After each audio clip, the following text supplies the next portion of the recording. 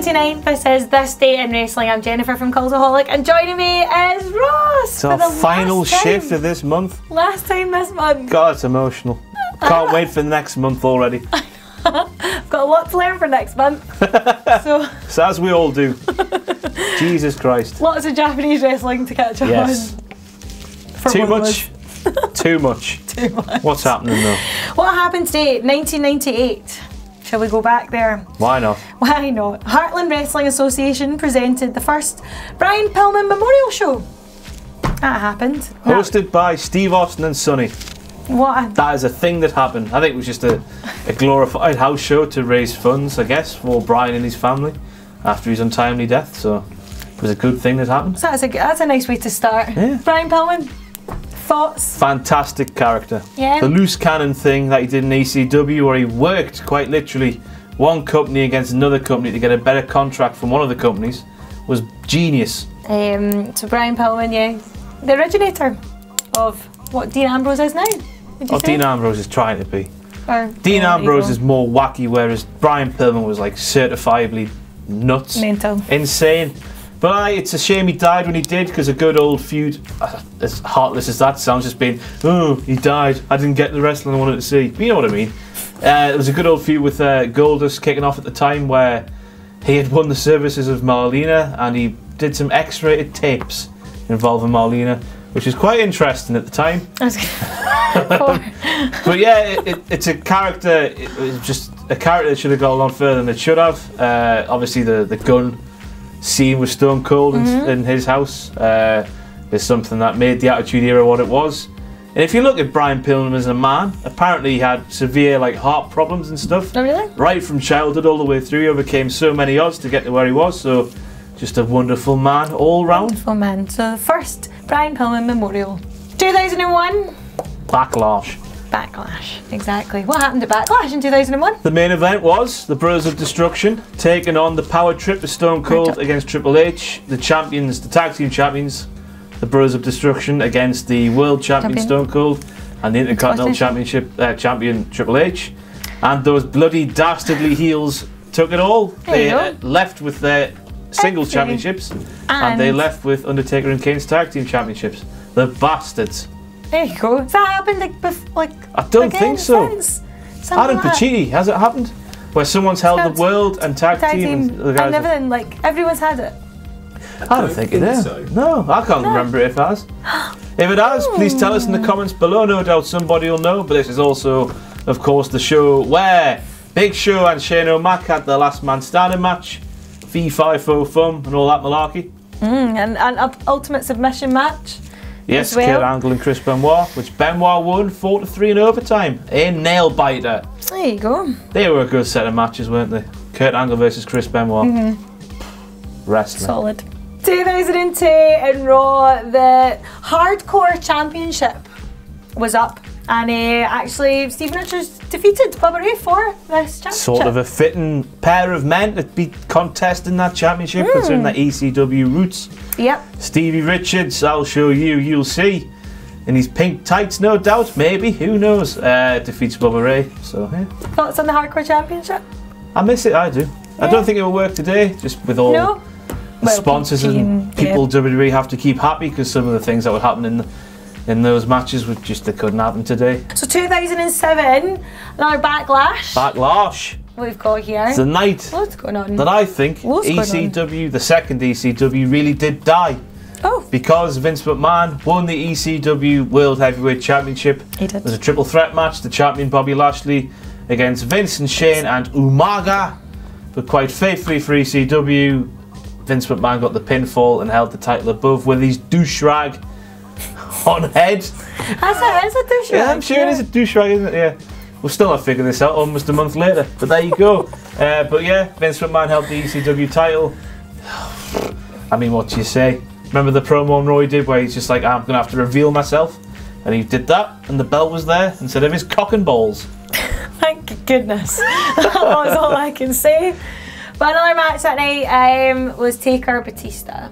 Yes, they drew. that? Yeah. So Taker retained his championship. Just imagine what that was like. A big old bruising match. Then the other main event, that was for the world title. Uh, Yeah. The WWE Championship was a fatal four way Oh, where um. John Cena won in a match where there was a lot of intricate things involving all players in the match. There was Cena, Edge, Orton, and Shawn Michaels, I believe. And they all did things which intertwined quite nicely with each other. It's if you like a wrestling match with that sort of stuff, go and watch that one. So, two, 2011. This is truly one of those this- you remember where you were moments. Like yeah, 100%. I was where to say something JFK gets shot, Elvis John died. Lennon gets shot, somebody else gets shot, and then this yeah, happens. this was like a proper red carpet event in 2011. WWE Studios release That's What I Am. I don't even. Who's in it? Ed Harris, Molly Parker, and Amy Madigan. And who else to make it Uh, wrestling oh, related? exactly. The only reason that's on that bit of paper is because the man you've forgotten. Randy Orton. How could I forget such a sterling role? He's boring, that's why. A. Boring Randy Orton. I've never seen a WWE film. I have. I uh, I was forced to watch The Chaperone back at Name Redacted as a punishment for uh, not winning the predictions competition. And your thoughts? Uh, it was it was pretty bad. Out of five? Out of five? Out of five to the push. That may be because I was drunk on Star of Brahman, my favourite lager. But Lisa Simpson played a teacher.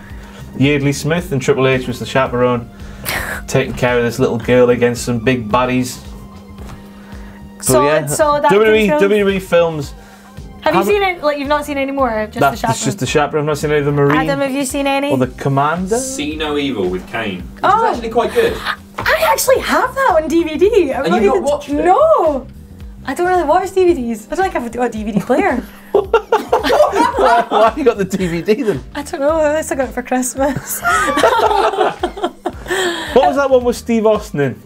The Commander, Command, Condemned. The Condemned, yeah. The Condemned. yeah. Oh, Not maybe seen that wa- one either, I'd maybe watch that. That sounds. Why not? Dark. We should have a have a night of it. Let's DVD night. Bring your player. 2011 again, another big year, big big announcement. The Be a Star campaign is launched, Yes, that is a thing that happens. Yep, they do which is good, good. work. I was They, going to say that is good. they ignore it most of the time on their programming, which is it's quite funny when you think about it. But Ironic. it's do it's a good thing for a good cause. yeah. So more power to it. I don't know what else you can say about that. no. I'd, I'd But really don't don't be a bully. yeah, don't be an arsehole. Just be a nice person. Absolutely. That's the Geordie version. Don't be a bully, be a star. Don't be an arsehole, be a nice person. But I'd really like to go to one of those rallies with Mark Henry. I'd like to see what Mark Henry's like in that situation. You know, we Delightful, I can yeah, only Just imagine. imagine Mark Henry having the necks on the back of your head stand up. Back But, of the but head, there's a back of the neck. picture of me on the WWE, or well, we're gone now probably from a house show where Mark Henry is right beside me. Well, yeah, we'll working. find it and put it in there. That's news. There you go. I don't know what day it was on. I'll be sure to write it down. Duh, it might not be there. What's Mark Henry like? Uh, well, he was literally going into the ring, like so. He was sweaty. I don't know. What did he smell like? Sexual Just- chocolate. And what does sexual chocolate smell like? Mark Henry. so 2012 Extreme Rules happened, and it was quite eventful. It was John Cena. Cena and Lesnar. They did Big the win graphs. for big win for Cena. This was a weird time when uh, WWE brought back Brock Lesnar, UFC World Heavyweight Champion, Mm-hmm. all the toughest man in the world, and all that malarkey. Then he loses to people like John Cena and then Triple H at the following WrestleMania, Mm-hmm. which, you know, given the context of the situation, I mean, he probably shouldn't have been losing to them people. probably, I know you're a big John Cena fan, but but he's not as hard as Brock Lesnar, and you can't argue it. I would try. Go on then. I would fail, but so I'm not gonna. all right, fair enough. But I, this is But yeah. John Yeah, Cena so- beat him. Uh, So that was big. That was big. building him. Oh, sorry, knock. It's the thing that Vince McMahon used to have said about when he used to bring people in from WCW or people made elsewhere. He knocks the gimmick down and he Mm-hmm. But builds this up is again. exactly what I was going to say there. Like, what do you think that was just all part of the grand plan that they had was to try and lessen him to make him out to be this huge monster beast that we see now. It just seems weird that he would just wouldn't bring him in and just have him beat everybody anyway, like he has been for the past over four years now. Do you think Do that's not think? maybe? Do you think Lesnar's maybe holding on to a wee bit of rage about this time? Probably. That's what all the antics now is hey, if it's if it's rage he's holding on to about that time and it's working now for him, more power to him. It worked, didn't it? WWE, but you know, it just seemed weird at the time, didn't it? Well, there you go. What else happened Extreme Rules. Uh, Cody Rhodes And Big Show. had a tables match against the Big Show. That happened. And Sheamus. Sheamus had a two out of three falls match for the World Heavyweight Championship against Daniel Bryan, of course. In the aftermath of WrestleMania 28, where the kick happened to the face, but Sheamus won again. Uh, 2015, I, I, an injury to report. It's like I've had an injury this month to report. Oh, no, I probably It's a bloody big injury. It is. Jeff, Jeff Hardy. Hardy broke his leg on a motorbike, dirt bike accident. It's a famous clip on the old YouTube. I think Matt, I'm pretty sure Matt filmed it. And Jeff's going to do a jump, like you do on the bikes, from one mountain of dirt to another one. and it doesn't quite go right, and he lands and snaps his legs, and all hell breaks loose. That's it. Quite injury prone, isn't he, Jeff? Which is not surprising when you throw your body around like that for 25, 30 years. Jesus Christ. 28, 28, it's been, oh God, 25 years now, Jeff Hardy. It That is be. amazing, isn't it? It's amazing, and he can still go, so Yeah. well done. And my favourite bit, and I know it's probably yours too. Of course it is. It's the bit everybody comes for. Uh, that's why I'm here. but birthdays, happy birthday, a huge happy birthday, 41st birthday, 41 is unbelievable for this man. Titus O'Neill. Jesus Christ, he doesn't look a day over 35. It looks amazing. Titus O'Neill, who of course is famous for kissing his son on the mouth in an inappropriate way, considering he was well teenager or whatever. Definitely not what he's famous for. Not famous for his tag team championships or his good work outside of the ring in WWE, his charitable causes and all that malarkey. He is famed for kissing his son on the mouth in a way, a way that made people waited out for a little bit.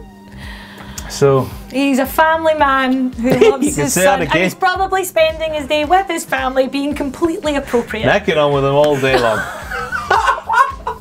Not really, Titus. We're all.